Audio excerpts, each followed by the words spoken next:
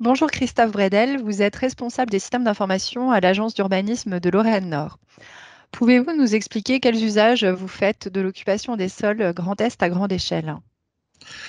Alors, dans le cadre de nos missions, nous sommes amenés à produire beaucoup de documents euh, pour les collectivités, que ce soit les PLU, les cartes communales, les SCOT ou les PLH. Et dans ce cadre, on va utiliser euh, beaucoup cette source de données bah, pour analyser euh, la consommation foncière et l'état des lieux. Donc ici, avec un exemple sur le PLH de Grand Langouille Agglomération, ou par exemple ici, dans la préparation du PLU I de, de CCB3F. Euh, du coup, pourquoi euh, avez-vous fait le choix d'abandonner euh, le MOS local au profit d'un système plus régional comme l'OCSGE2 Alors effectivement, nous avons fait le choix d'abandonner notre MOS local parce que, alors déjà, il y a eu une raison économique, parce qu'en fait, pour produire un MOS local, ça prend quand même beaucoup de temps. Hein. En gros, chez nous, pour chaque millésime, ça prenait 3 à 4 mois de, travail, et on est une équipe plutôt réduite en géomaticiens. La seconde raison, c'était qu'au niveau de la nomenclature, nous n'étions pas tellement euh, détaillés euh, pour ce qui n'est pas urbain. En fait, euh, comme ce n'est pas forcément notre, notre cœur de métier, on n'était pas forcément très pertinent sur, sur cette partie du territoire. Et l'avantage de l'occupation des sols Grand Est nous permettait d'affiner cette, cette partie du, de la compréhension de notre territoire. Et puis enfin, ce qui nous a aussi amené à changer, c'est l'aspect euh, référentiel de cette occupation du sol Grand Est, car euh, au niveau du Grand, enfin, nous pensons que c'est un, outil ad hoc pour avoir un référentiel sur l'observation des consommations d'espace et d'avoir la, même façon de mesurer pour tous les territoires de la région nous semble pour nous important. Euh, comment dire, et d'éviter toutes les tergiversations qu'on pourrait avoir sur les définitions bah, principalement maintenant en termes de réduction des espaces consommés.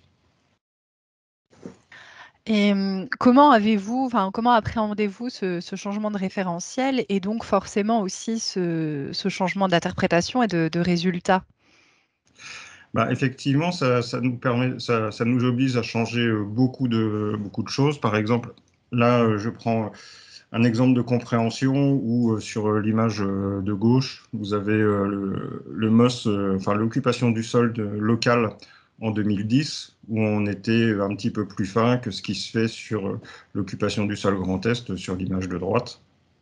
Donc ça, il faut qu'on change nos chiffres bruts, il faut qu'on fasse preuve de pédagogie.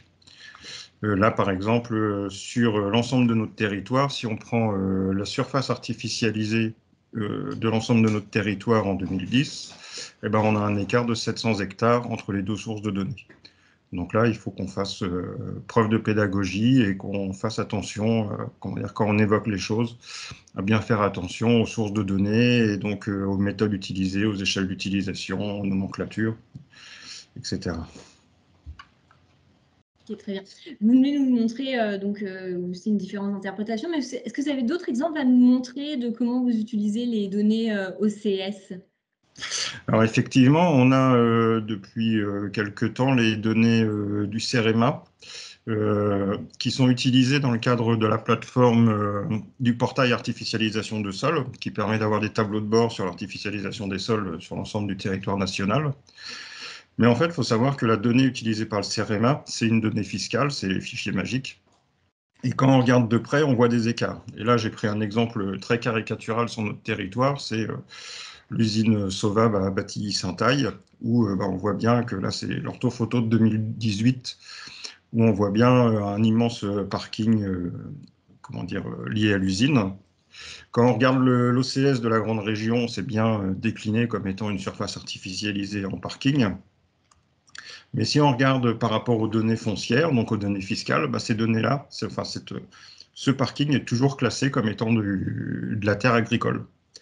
Et là, bon, c'est vrai que c'est un exemple caricatural, mais ça représente quand même 30 hectares de surface artificialisée qui ne sont pas pris en compte dans les données du CEREMA, alors que les données euh, OCS Grand Est sont euh, bah, plus pertinentes.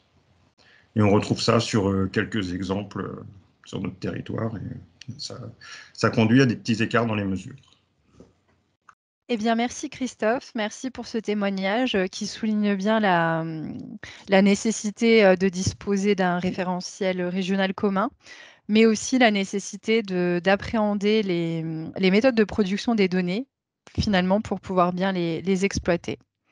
Merci et à bientôt.